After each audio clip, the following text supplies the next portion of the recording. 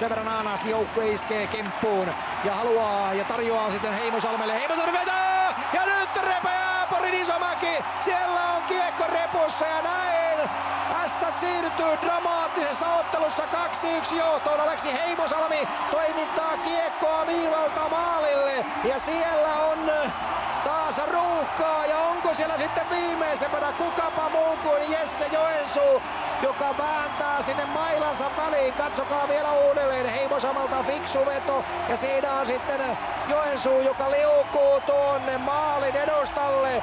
Ja tällä tavalla sitten Jesse Joensuu, Porin oma kasvatti, on sitten ottamassa tuota valtavaa roolia. Pistää Tsippa, Tsipaten siitä. Maalitekijä Kivihalmen jalkojen kautta vielä kerran Aleksi Heimosalmi kiekossa. Ja sitten Jesse Joensuu, pudotuspelien toinen maali. Hän teki yhdeksän maalia runkosarjassa, mutta nyt pudotuspeleissä on toinen maali ja niin kuin näette tuossa hän jo alkuhaastattelussa kertoi, että mikä on hänen roolinsa. Tässä se näkee.